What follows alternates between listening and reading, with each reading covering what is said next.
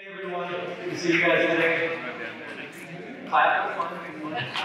Thank you. Uh, I appreciate you guys letting me take some time with you guys today. I am with Cradlepoint. Um, my name is Matthew Mobley. I've been with Cradlepoint for about a year and a half now. And if you're not familiar with us, Cradlepoint is the global leader in wireless WAN connectivity for enterprise. So what does that mean? It means that we're not the same kind of product as like a consumer grade MiFi or Stellarpy or something like that. Uh, and we'll talk some more about the technology that goes into our modems and how we're able to do some of the things that RWA we do.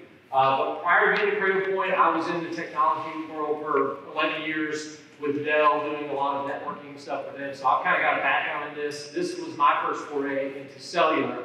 So I've learned a lot about that, and I'm happy to share with you guys. And you know, after we get done here, I'll be over at the vendor's booth. So if you guys want to come talk sell stuff, then maybe we can do it. So let's talk just a little bit about Cradlepoint and our pedigree. So Cradlepoint's been around since 2006. We've got over 28,000 customers and. This is probably even out of date. I bet much higher than that now. Uh, and over, over 1.6 million individual endpoints. So that includes every single router that's in an Oliver trailer today. We are the worldwide leader. Um, nobody does what we do better than us. 40% of the Fortune 500 companies are using us, and that's, again, that's probably ticked up since this slide was originally made. And 50% of the Fortune 100 companies use us in some capacity or another. So for transportation, we are cleaning up in that space, and that is the specific product class that we're going to be addressing for you all here with Oliver. And top 25 of U.S. cities are using us 100%, in, again, in some capacity. We'll talk about some of our different use cases and the different things that we enable with our technology. So Cradlepoint, again, you know, we're talking about mobile today, but Cradlepoint does an entire variety of different uh, solutions. Some of that will be branch, and Cradlepoint is known historically as a branch cellular internet failover product, right? So your wireline connection goes down, I can now fail my business or my branch location over onto cellular internet right? So that's where Cradlepoint got our start. And initially, and the reason it's called Cradlepoint is because initially we enabled that by putting a cell phone in a little cradle and kind of turning it into a hotspot. So before now, phones all have that capability, so we've evolved times as well. So in, in addition to failover, we're doing a ton of stuff with mobile networking. We're doing stuff to enable smart cities. Um, private cellular networks are now becoming a thing where you know maybe Wi-Fi is not a great fit for a large warehouse and there's metal shelving and those types of things. So we also enable private cellular networks to service those with cellular, which is going to give you better signal penetration than a traditional Wi-Fi signal. We'll do fixed site wireless, so a lot of our customers now, because especially now with 5G and some of the advanced spectrum that is coming out, a lot of our customers are now kind of deciding if it makes sense for them to cut the cord in some of their locations. So especially customers that have multiple ISPs spread all over the country. They've got you know, 20 or 30 different bills for internet. Uh, they can now consolidate that down to two or three cellular carriers and go, and they're getting just as good a performance with cellular as they were with a wireline connection, and just as reliable. So Internet of Things as well, uh, that would be like putting a credit Cradlepoint in an ATM, or every Redbox is powered by a Cradlepoint. That's what facilitates their internet connection, process credit card transactions, tracking movies that are going out. Uh, digital signage as well, and networks for public safety. So, you know, we'll have first responders, uh, EMTs, police, uh, a lot of those types of deployments as well. So, and this is for you guys, right? Taking your connectivity on the road. So, as you guys are, are traveling all over the country and finding great places to go set up, one of the things that has traditionally been a very hard thing, right, is having a good, reliable internet connection. So that's what we try to enable for you all uh, by, by, again, using Cradlepoint's routers and our, our advanced mobile technology. So mobile offices too, that'll be another thing. You know, we've seen, especially over the last couple years, right, in the midst of this pandemic, a lot of people are working remotely now, and they're taking their work on the road. I know a lot of my friends have been doing work vacations where they'll just go move to a city for a month, stay in an Airbnb or something like that, and they'll just keep working. But at night, now I'm in you know, Portland or wherever, and I can just do that uh, as opposed to being locked into going into an office. So we're doing a lot with our customers for those types of situations as well. Uh, we're doing a lot with location data, and a lot of businesses are now utilizing this as well to get advanced analytics about different capabilities and different services that they want to offer in different locations. Um, so all these things are, are going to be enabled by this new and broader capability of cellular technology. We'll talk a little bit about kind of where we are today with 4G. We'll talk some future stuff with 5G and what that's going to look like. And then we'll talk some practical stuff as well about how you guys can utilize us today, even for some more things than you might be doing, you know, those of you that already have deployed Cradlepoint. We're, we can do more for you than just give you a Wi-Fi signal in, in your camper. So we'll talk about that. So one of the things that you know we've seen a lot of our customers asking us for is, hey, because we're integrating you guys into our vehicles, can you do other things for us? Uh, can you tap into, you know, some of the AVL and telematics? Can you check my tire pressure? Can you do some of those things with, uh, you know, checking battery? I know we were just talking about batteries. So all those things that are accessible either via CAN, CAN bus or OBD2, Cradlepoint has some capabilities to tap into that as well. And we've got a lot of customers now that are starting to consolidate that, that stuff down where they might have, especially like I think of law enforcement, where they're carrying multiple devices that have a SIM card in there, and all of those things have a data plan. Well, if I can just put one Cradlepoint router, sync all that stuff through that one device, I can consolidate that data plan down. Plus, I can have one platform to track and monitor all those different connections. So there will be some areas for you guys to maybe look at some of that as well. Again, we can stay as, as simple, and if you just want us for Wi-Fi, that's great. But I want to make sure that you guys are aware of some of the other things that you could potentially do with a Cradlepoint solution. So, and again, a lot of our customers are deploying us at very broad scale. Uh, you guys are the opposite end of that spectrum. Uh, I don't think many of you are doing like 30 camper fleets, and we got any 30 camper customers? Probably not. Uh, but just to give you an idea of you know our experience in this field, we do have customers that have thousands and thousands of individual endpoints that they're all managing through our cloud-based orchestrator. And here's a couple of examples. Uh, I, said, I, said, a lot about law enforcement. You know, Boise Police, Kaiser Permanente, New York Metro, uh, that is a big one for us. You know, all their public tra transportation utilizes Cradlepoint for internet connectivity and for fleet tracking as well. We're doing a lot of stuff with school districts as well, putting Wi-Fi in school buses. Uh, that has been another big growing uh, field for us, especially again through the pandemic, because a lot of children, as they were doing some remote learning, they didn't have access to internet, so we could provide that via the school districts using their own busing systems. So in some cases, it was kids were working on the buses. In some other scenarios, we were having buses go to specific locations and set up pop-up networks to broadcast Wi-Fi signal so students have had access to learning. We're doing some deployments also with drones. We're doing, you know, we got boats. I've got a big customer that is a, they do barge shipping, so they're tracking their boats and providing internet all up and down the Mississippi River. So let's talk a little bit about the technology that we're doing uh, for, for Oliver and, and you guys deployments. So this is our IBR 900. Uh, this is one of our premier mobile routers. This device is a kind of a hardened, ruggedized device. We'll talk a little bit more about that. But this is this is it, and you know, it, that's it on the screen, and that's it here in my hand. So this is a you know a compact, ruggedized device. It's a metal housing. This is high quality industrial components. So what this is, again, is going to pull cellular down, and you can see there's these SMA terminals here. Those will tap into an antenna, right, that gets roof mounted on top of your trailer. And that is a high gain omnidirectional antenna. So whereas you know having your cell phone in the camper, you may have trouble with signal that way, but having that high gain antenna on the roof is going to do a lot better job of pulling that information down. Uh, what this device is not, it is not a repeater, right? We're not taking a cell signal and just rebroadcasting a cell signal. We're taking that cell signal and turning that into an internet connection for you guys. So based on doing that, then we're able to, again, through that same antenna, broadcast a Wi-Fi signal that is accessible inside the camper and also out. So, you know, you can connect multiple devices to that the same way you would your wireless network at home, right? You tie into that SSID, now your mobile devices have internet connection.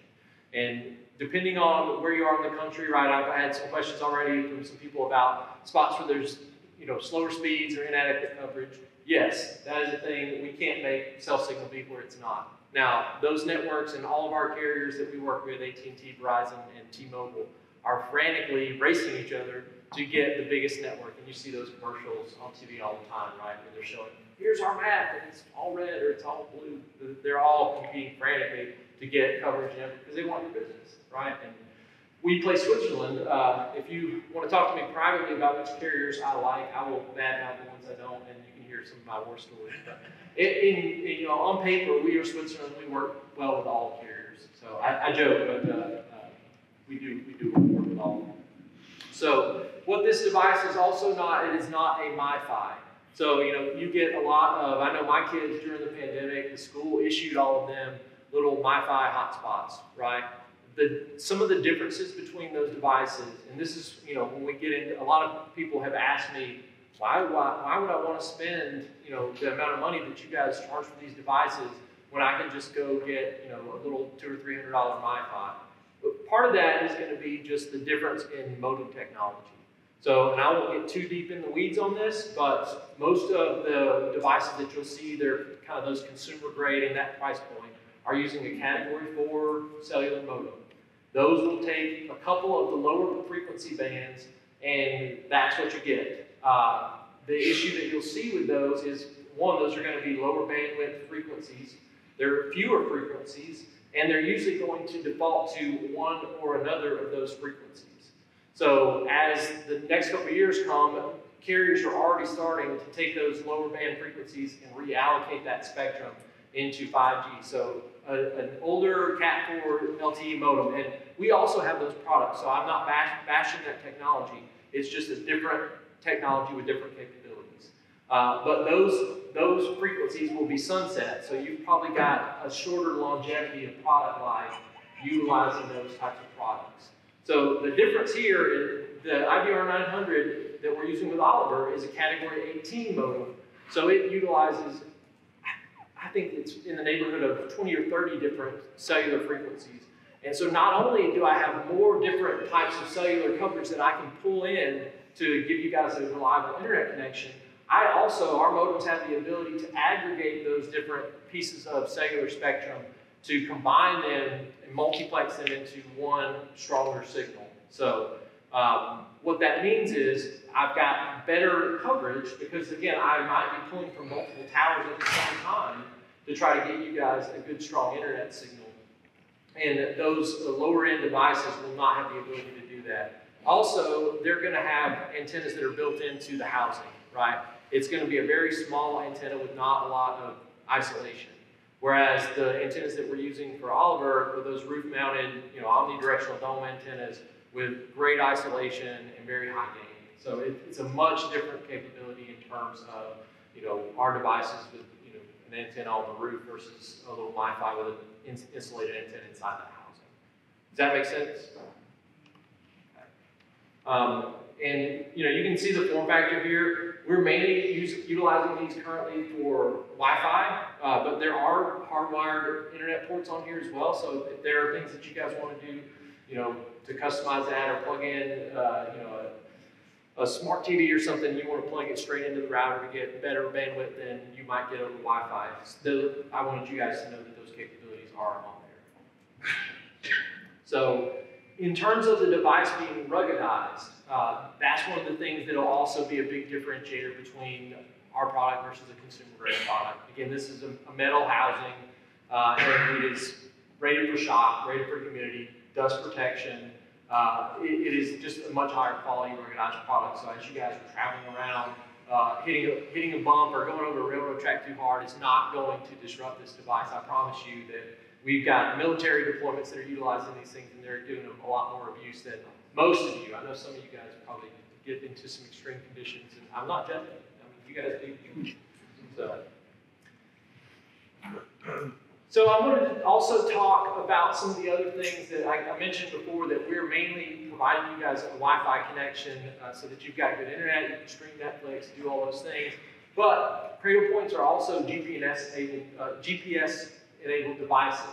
So through our NetCloud portal, which you guys may or may not ever want to use, you may just keep, keep your Wi-Fi and go. But if you want to dive into some of the other capabilities of our platform, we do have a cloud-based orchestrator that you guys have access to that you can log in, you can see you know, GPS locations on a map, you can see what my cellular uh, health score is in a given region and have an idea of, hey, what cell tower am I connected to right now? Uh, these are also things that our device can provide. And you'll see here, it will also show you historic location tracking, which could be a neat thing as you guys are traveling. You can kind of log some of those trips that you've taken and go back and when were we here? You can go back and see some of that utilizing our NetCloud portal. And this is one that I think actually might be a really good benefit for you all, is this coverage map.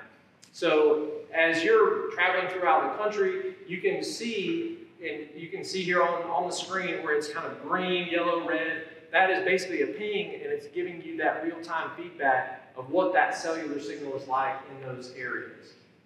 So if I'm picking a spot that I want to go back and revisit, I may want to go see, hey, how is our cellular coverage there? Am I going to have good internet at this location? So that's something that you guys have access to pull down from our NetCloud portal as well.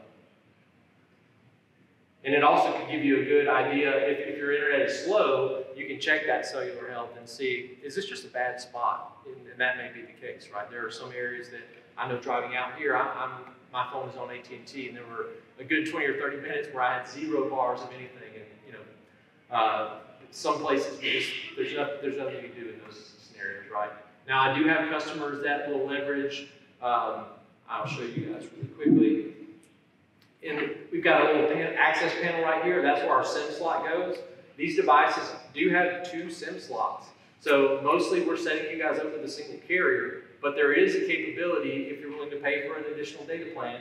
You could, for instance, have an AT&T and a Verizon SIM in this box, so that in an area where hey, I don't have great AT&T coverage right now, let's see if, if the Verizon signal is, is better. So you don't have to go in and manually do that either. If there's poor AT&T coverage and the Verizon signal looks way better, our device will automatically toggle over. Now, I will tell you there is like typically a three or four minute reinitialization period to go between carriers. So, but to me, that's still much preferred than not having an internet connection. So again, that, that's if you want to pay for a second second cellular service. That the same SIM card is in your phone? It's not. Um, typically, these are going to be data-only plans. So if you're putting a personal, you know, wireless device, uh, the carriers will usually, maybe they might not catch it right away, but usually over time they're going to see that, hey, that device, they can they can see what kind of device the SIM has gone into, and if it's not rated for that type of device, they'll shut you down. so again, you, you can try it, and it may work for a few minutes, but uh, ultimately they'll they'll either throttle it or they'll kick it off altogether. So, good question. So again, and I did talk a little bit about uh, some of the things that our modems do. Uh, we write all of our own custom software to to power all these components. So rather than, you know, I, I know a lot of the other, there are a lot of other manufacturers that are adding cellular capability to their devices right now. Uh, Netgear comes to mind. I run into those guys a good bit. Uh, their devices are basically just buying off the shelf components, putting it in a box, and handing it off. Uh, whereas our products are heavily tested and integrated by our engineers, and we're writing custom software not only to take those components, but to kind of point them. We, we just know cellular. We've been doing this since 2006. So we have a lot of expertise in making those modems to get the best coverage available from whatever is, is around in that area. Here's a little bit too just about cellular technology and what we're going to start to see over the next few years as 5G continues to roll out. So you can see we've got three different spectrum layers and mostly for you all, and this is what we're utilizing for you all today, is that lower band uh, of 4G LTE. And we're seeing a lot of coverage now from the carriers that is billed as 5G, but it pretty much is that same broad spectrum. And the reason is because those longer wavelengths will travel further, they'll have better penetration through walls, trees, etc. So that's why for a mobile application, that is probably what we're going to continue to see for the next couple of years. Uh, and now eventually 5G will be in every tower that's out there, right? And then 6G or whatever, it, it'll continue to progress. But for the next couple of years, we will see that. But we're seeing, especially in our branch and IoT type deployments, a lot, there is a lot of demand and question about what can I do now with 5G now that the spectrum is being turned on. Uh, and one of the things that I always tell people is you can do a lot with it. You probably can't infect people with coronavirus. Uh, Bill Gates did not uh, develop 5G to put coronavirus in you. And if you think that he did, I would encourage you to talk to some of the people that I work with at AT&T, and we can recount some struggles of just getting cell phones working. Uh, I don't know that they have the capability to do anything quite that advanced. But you'll see that that top layer spectrum, that 5G millimeter wave, that is basically going to be direct line of sight in major metropolitan areas. Any, a lot of the commercials and marketing hype that you see around 5G and having you know multi-gig speeds uh, over cellular, that is going to be that millimeter wave. It is going to be pricey for one. Our components are probably about 4x the cost that utilize that millimeter wave technology. And again, it's direct line of sight. So it's important for you guys to know how some of this technology works, right? Because there's a lot of marketing hype going on around it. Your question, sir?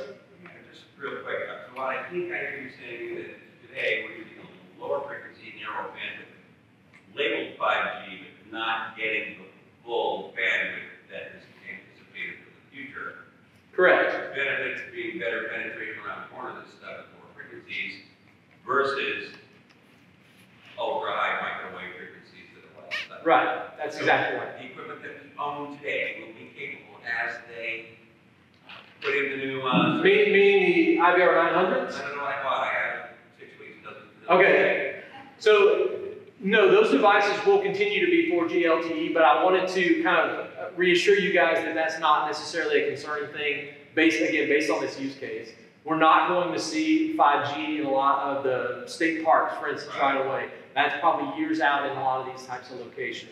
And I would, I would say, don't be concerned about that. Uh, again, if you guys want to talk about one of our 5G products, I'm sure Jason and his team would be happy to put one in. Uh, but I, I would say it's probably not worth the additional cost. And for your use case of you know streaming Netflix, if you're not doing something that is going to be you know live HD video across multiple cameras, it's probably not worth worrying about it, in, in my opinion. So again, just to clarify, product I bought not five G. Correct. Correct. Okay. And but I want that's why I wanted to kind of talk through what 5G actually is and what it's not. And if you see the, the marketing hype that says 5G is all these things, they're probably talking about that high-end spectrum that is only going to be available in these like tiny little pockets of major metropolitan areas. And thank you so much. No problem. Any other questions on that? Sir? Um, Uh-huh.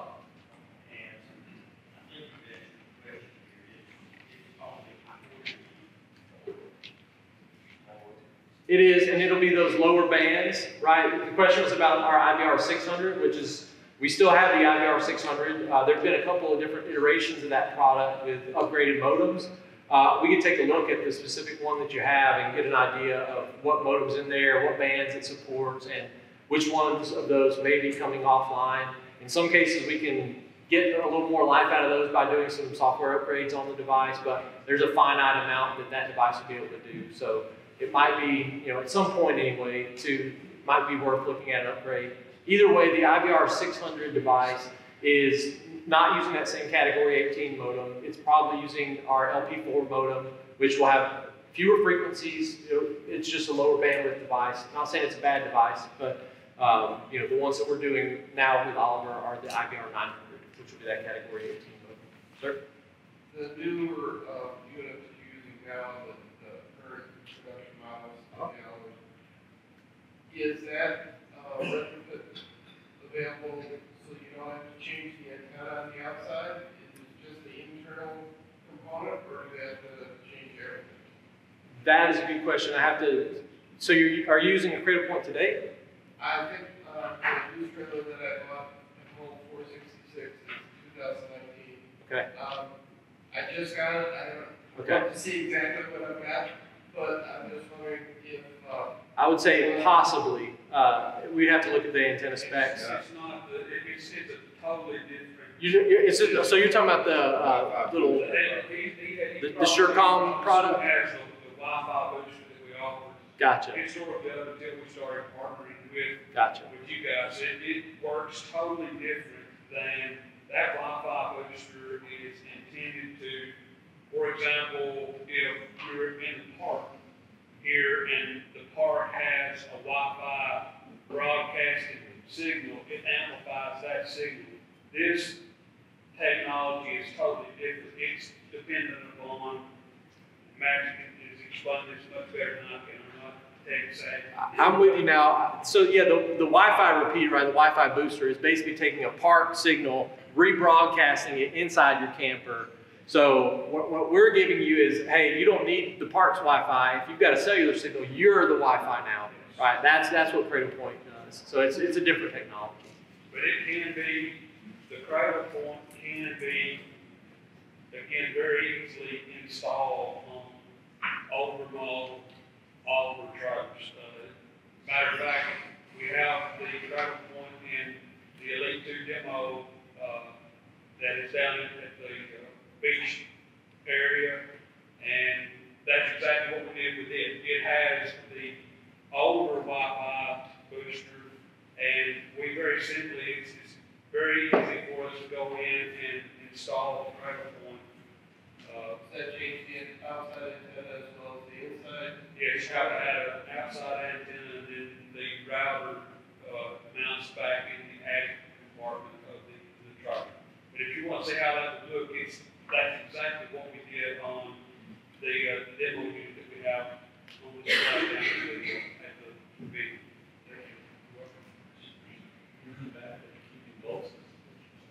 Sorry?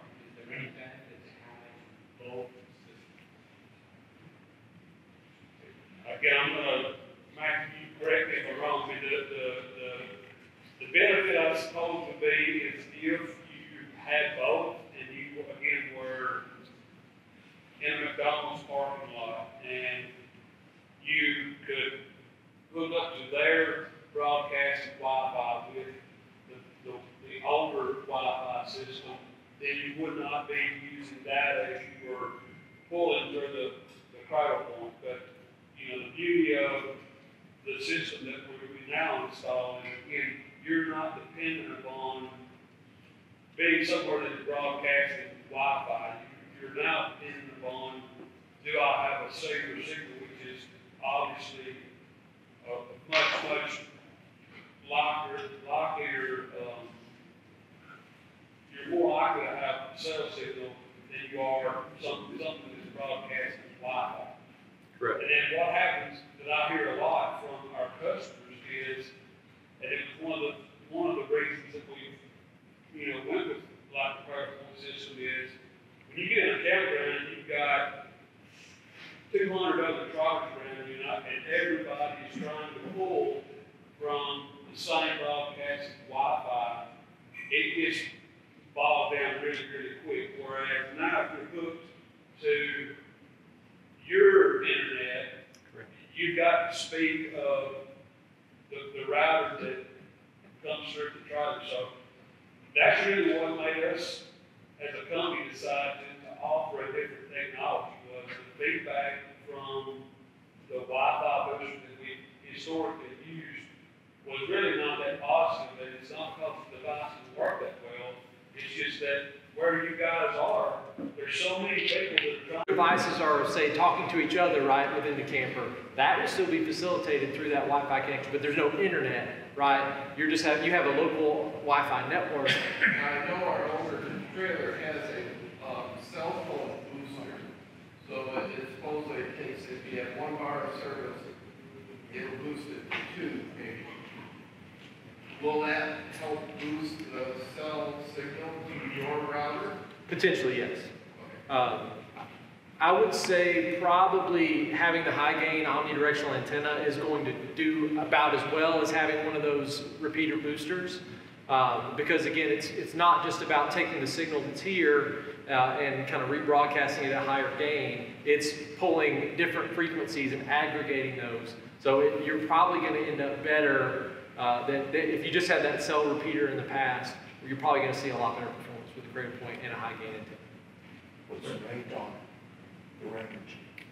Meaning for the Wi-Fi, Yeah. to broadcast, um, it, mileage may vary, but I mean, I would say, you know, I, I think about it in terms of square footage of a house, right?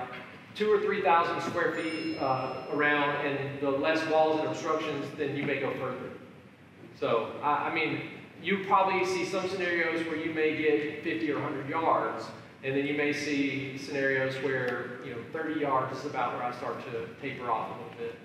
And some of that's, you know, there's a lot of factors, interference and air quality and tons of things come into play there.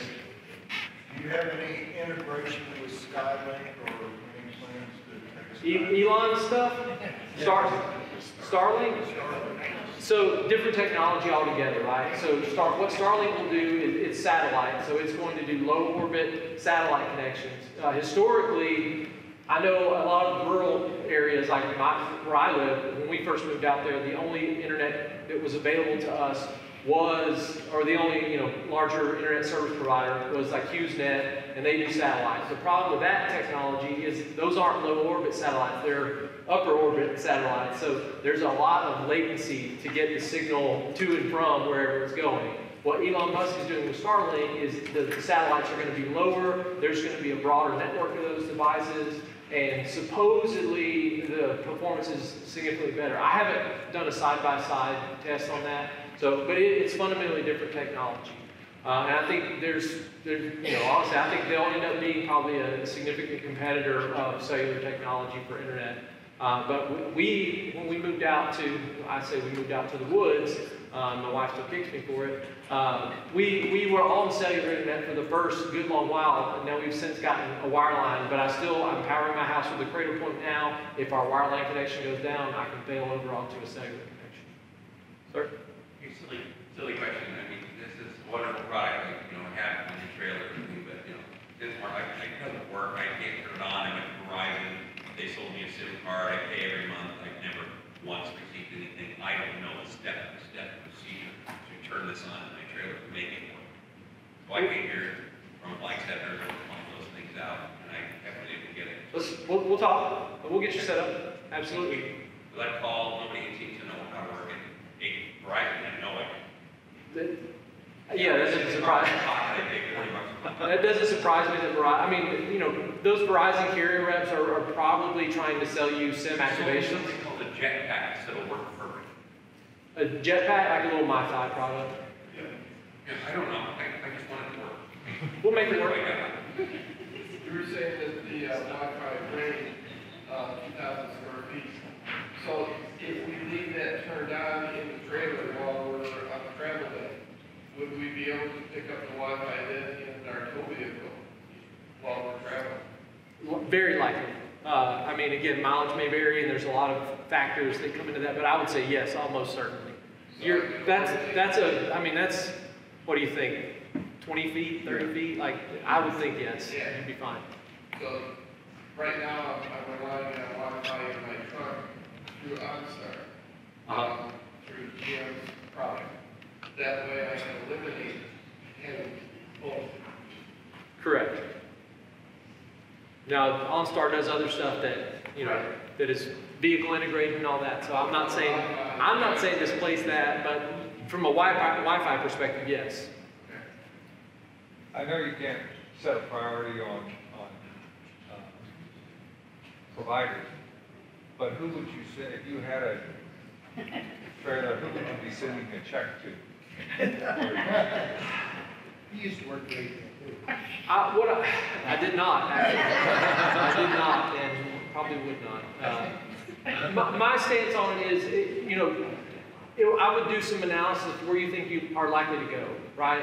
Uh, what we've seen, especially with 5G stuff, now this is, and this is recent developments, right? T-Mobile has made a big push into expanding their 5G network into rural areas.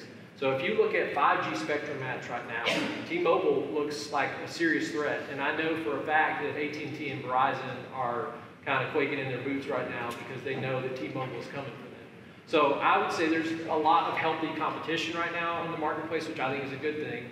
Uh, what, what I would say though is, you know, try, if you've got, especially if you've got a couple of locations that you know, this is gonna be a frequent spot for me, I would look into those coverage maps and figure out, you know, so that you know, the places are, that are my bread and butter visit spots, I wanna make, make sure that I'm good at those places.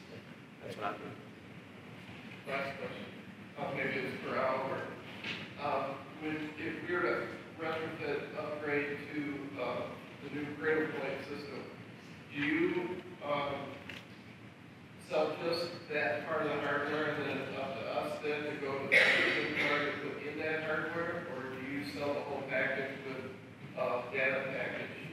We sell the whole hardware package and then we contact. StepCG, which is our partner. And, and get your data plans. I don't know if you touched on that, you plan to touch. I haven't, uh, that gets a little bit up more outside my purview, right? So Cradlepoint, we manufacture this hardware, right? There's also the antennas, and I think you guys are using the Parsec, oh, the, oh, Taoglas, yeah.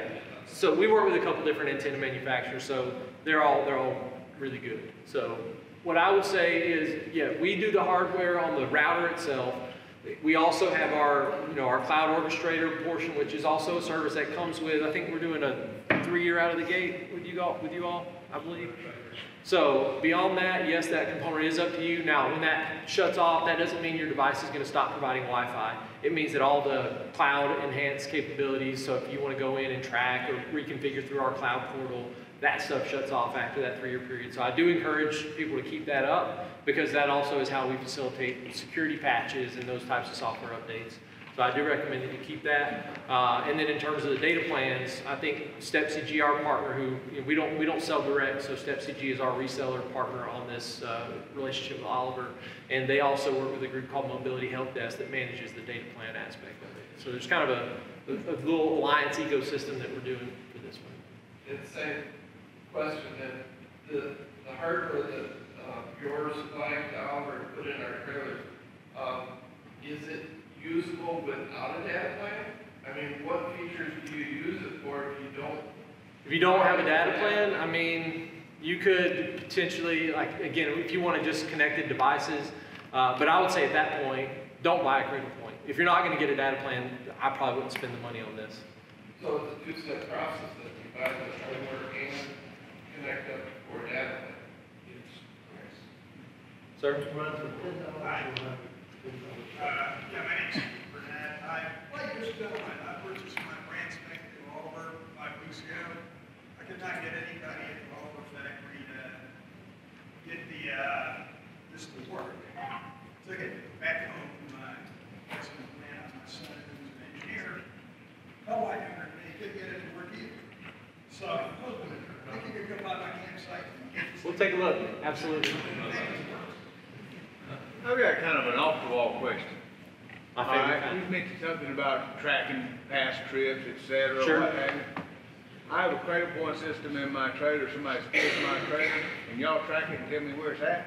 If you have that GPS capability enabled, and likely, even without our advanced location, which is like the add-on license that I referenced, uh, even without that, yes, we have kind of generalized location-based, uh, we can identify where that device is. Because that could be a big bonus. It could be a big bonus. That, that, finding, finding a stolen trailer would pay for the Cradlepoint a couple times over, I think. Ooh, good question. Uh, see me after class, and I'll, I'll look that spec up for you. It's, it's relatively low. Uh, I know that we've got customers that are also building these into like Pelican cases and doing like a battery pack type scenario as well. So, um, it's, it's not a significant amount of drop. This may be an audible question, I don't know, the, the mobility help desk. Mobility help whatever- desk. Whatever that partner's called. I know, and I upgraded to a Cradle Point, but I tried to get on the NetCloud Uh-huh. and wasn't able to because the administrative rights were held by Oliver, is that right? Anyway, the, the mobility help desk got on the net cloud and told me what I needed to know, but it seems like they had ownership of all of that and just call their phone number and they would help me accomplish what I was after. Does that make sense? Yeah, I mean, we have, we purchase the kits, we have SIM, SIMS cards in the kits, and then Jason can speak to this better than I can, because he, he deals with this every day, but, um, the, the car then gets registered in, into your name after we purchase it, and then that allows you to, to go through mobility help desk and purchase the data plan that you're looking for. Right. And And so that- I would say if, if mobility's got the administrator account within NetCloud, uh, that's probably something we want to look into because, um, even if they, I, I like them having access because those guys are really knowledgeable and they can troubleshoot and do some of that. But I also like the idea of you guys having access because if there's knobs and buttons you want to mess with on there, uh, you know, for those who, who want to, I'm not saying you all have to become IT experts, but I may have misrepresented that, I apologize if I did, but I think it wasn't even Oliver, apparently you're owned by some other entity above the Oliver name that said that they held the rights to the next shouldn't be. Oliver thought of that. Maybe, maybe. Oh, okay. Well, it was a strange deal, and, and, and I just said, well, if I just, if, if what I need to do is call your phone number and you'll take care of it. I think I was trying to change the password on my, On your Wi-Fi? yeah, it was a weird deal. We'll sync up on that. Yeah. We'll get to the bottom of that, for Okay. sure. And then a second stupid question, because I'm good at those. Okay, Uh, the antenna on top is for picking up the cell service. correct. Uh, does it also, when you send out the Wi-Fi signal for sitting outside the trailer and all that, Correct. does that go from the router or does that go from the antenna? Through the antenna as well. Okay. Okay. Yes, ma'am. So we don't have that system, but we have a new trailer, how much is it to add on the cradle point? Um, you would probably need to contact Jason, let them give you a quote as to what it would take. It's, it's pretty simple to add, where we put the antenna and the router and so forth. Uh, right off the top of my head, I believe, if I'm not mistaken, a, if you have installed during the initial, uh, manufacturing trailer, it's about a two thousand dollar option, so it would probably be a little more than that. Uh, if you were having it retrofitted post-production, just because, uh, you know, obviously our, our service guys, through Jackson, that would be a for you. That would be, again, that would be, a good ballpark number. Okay, thank you. Then you also have your, your data plan on your carrier, you know, whatever carrier you want to mobility help.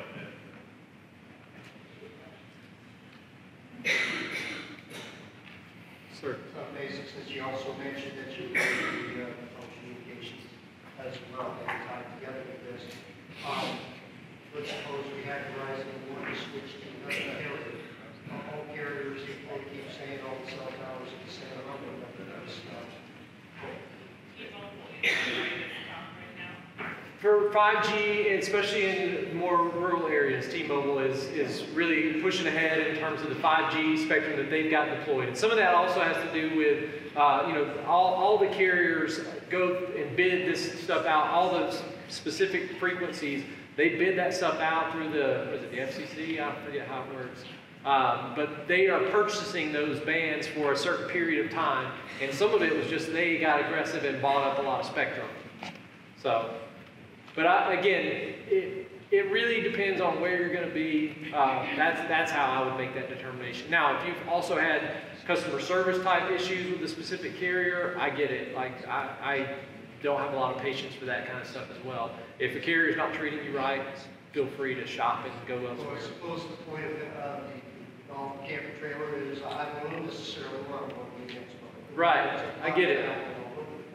So, we were to get rid of one of the bigger carriers and go with the others, because the others are saying, well, we use the same towers. I don't know what that means in terms of connectivity, we're gonna use this as our, our focal point on Nexus. Yeah, I, I would say there, there is a lot of that that happens, right, where certain towers are being leased out, you know, and people will put them up on their own property and carriers will lease that tower space to put their own antennas on there. So that for sure does happen. Um, but it, it also has to do with, but what frequencies are you broadcasting out of that tower and what available spectrum I- am I gonna have access to on that same tower that AT&T and T-Mobile are both on? So it it gets a little more nuanced and complex than for them to just say, we're on the same towers, we're just as good. Not necessarily. So, real quick, um, so I'm assuming the Cradle Point Wi-Fi booster LTE repeater thing Huh? that I own is capable, not with the power it is capable of translating GSM or CDMA. So, for example, T-Mobile is a American Sprint and T-Mobile is, a GSM company and one hundred percent CDMA. So if you put it in there, the Cradlepoint doesn't care, right? Cradlepoint doesn't care. Okay, just making sure. Yeah, it's completely agnostic. Uh, now, we do have older devices that were carrier-specific like that. Yeah. But all of our new modems are agnostic. They'll work with all three They're major carriers. to, well, what, what they're using. What's that? What They are model? agnostic to whatever Correct. scheme is being used. Correct. Thank you. All right, I think we're about up on time, but I appreciate you guys. If you guys want to have more in-depth questions, if we want to troubleshoot some specific issues, I'll be available and I'll be hanging out at the uh, vendors pavilion later. I'll also have a guitar down there. You guys want to come sing a song with me? I'm a retired full-time musician, so we will do that too.